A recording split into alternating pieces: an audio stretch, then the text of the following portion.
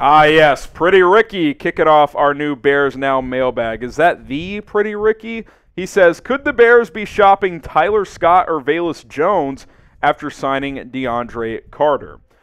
I would certainly be surprised if they were trying to shop Tyler Scott in particular, as he's only been here one year. And I kind of liked what I saw from him as a, as a rookie, although he was inconsistent. But I think he showed some potential to get open as a route runner. Now, you look at his receiver depth chart. I will say this Shane Waldron likes receivers with size.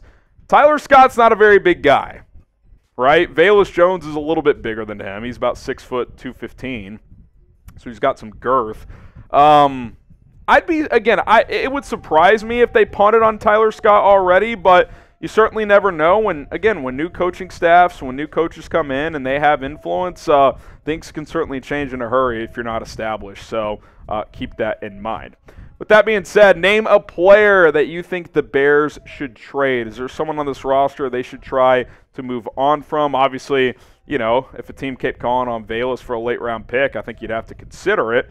Uh, let me know which player you think uh, the bears should trade the Notcast with the super chat, appreciate it. He says, "You find a genie. Would you rather get a guaranteed greatest of all time uh, this year and hope our offense lives up to the hype, or guaranteed Chiefs offense with the defense we got?" So, oh, so you're saying, would you rather take the current Chiefs offense with the defense you have, or hope you have the greatest offense of all time? I'd probably just take the Chiefs offense if I'm being honest. Um, I will say this though you know, sometimes you get hit with these hypotheticals, like you see them on social media all the time. Like, would you guarantee your, guarantee yourself a championship this year if you miss the playoffs the next 10? You know, most people would say yes, right? Because you get a title, right?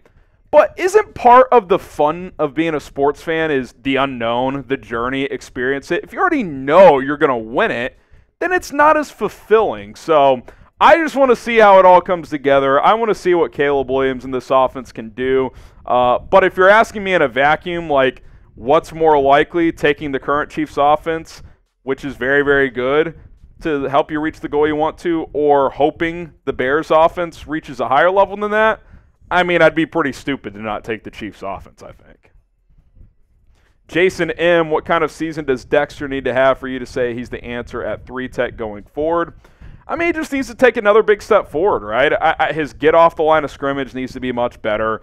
Um, you know, there's too many snaps last year where the ball is snapped and it takes him almost a full half second to fire off the ball. And, you know, with his physical dominance, he's able to make up for it after that. But you can't do that snap in and snap out. If he can uh, get off the line of scrimmage more consistently and play the run a little bit more consistently, play better uh, with his uh, pad level. If he can do some of those things, and from a statistical standpoint, maybe give you five sacks, I'd feel pretty good. That'd be a step in the right direction if uh, if he were able uh, to, to do those things and fix some of those technique areas I mentioned. Subscribe and join the Noti Gang here at Chicago Bears Now. What's the Noti Gang, Harrison? Well, I'll tell you. First of all, you got to hit that subscribe button. Then you turn on the notification bell and then you select all. The default is personalized. When you select all, that means you're going to receive a notification every time we either go live or publish a video that's non live. If you do that, you're part of the Noti gang here at Chat Sports and at Chicago Bears Now. We have almost 94,000 subscribers, but only like 20,000 of you are part of the Noti gang, so we need more members. Go ahead and follow those steps. Jaron Thomas, do you see a path where Rome Odunze can break Puka Nacua's rookie receiving record this upcoming season? Uh, he mentioned that as a goal of his. I mean, you love the confidence and the uh, the, the attitude, right? It would be pretty shocking, right? Number one, Puka Nacua almost had 1,500 yards. That's hard reg- for any player in this league. Um, number two, he's behind DJ Moore and Keenan Allen. So if he were to break it, that would almost certainly lead one to believe that one of the top two guys got hurt, which again, knock on wood, we hope doesn't happen.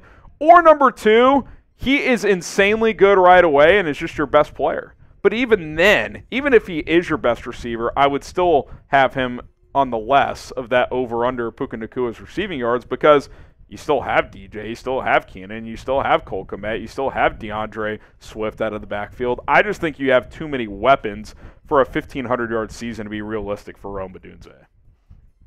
More is him. Hashtag Bears. Hypothetically, what could the Bears get for trading Khalil Herbert, in your opinion? Bear down. Uh, get the bear downs in the chat. Uh, I don't know, sixth round pick, late round pick. He's an expiring contract uh, as a running back. Good player, not a great player. Um, that's kind of what those type of players go for. It's a devalued position unless you're Christian McCaffrey and you can catch 80 balls a year. Um, so I, I said it in the spring. I'll say it now. If it's a sixth or later, I'd rather just keep him because I think one year of Khalil Herbert is worth more than a late, late round pick. So I know they like Roschon Johnson. So if they really want to increase his workload, maybe you consider shopping him. But I, I like Herbert. I think he fits well in this offense, and I'm not going to trade him for chump change uh, when that's in reality probably all you're going to get. Fill in the blank for us. The Bears will win blank games this year. Is it going to be 8, 9, 10, less, more? What's that number? 17 chances at it. How many are they going to win? Fill in the blank for us.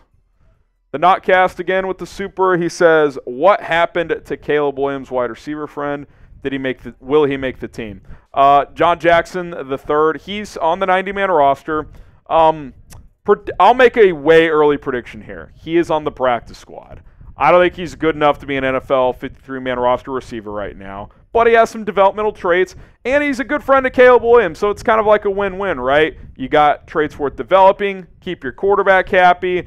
Um, you know, the Chiefs kind of did that with Mahomes his first couple of years. I forget the receiver's name who was never going to contribute on Sundays, but they kept him on the practice squad. I think his name was Gehrig Dieter. Um, him and Mahomes were tight, so they kept him around. Hey, keep your QB happy. You don't have to over please him, like put him on the 53, but you got 16 practice squad uh, spots. Put one of them from Jackson, and uh, that's cool with me. Grego, hashtag Bears. Booker should get a lot of snaps his rookie season. Underrated opinion, but I think we shouldn't get another defensive end. Let Book pass Anderson's 12 sack second. Um, I think you mean record. okay, maybe. Maybe you see how a couple preseason games go, and if you feel like you need more, you add somebody. But I'm still in the camp. I would add another defensive lineman. Uh, now, if you want to add a guy in the interior, that's fine too. I don't really have a preference on position. I just think you need another uh, pass rusher on that front four. I, am open to Booker uh, having a role though. I just I think he's raw. I don't think he's ready to be a starter. Uh, so we'll see. Maybe he proves us wrong and he hits the ground running as a rookie. Who knows? From Skepter, what's your ranking for each team in the NFC North? I think I would go Lions, Packers, Bears, Vikings, but I think the I think the Bears and Packers are close.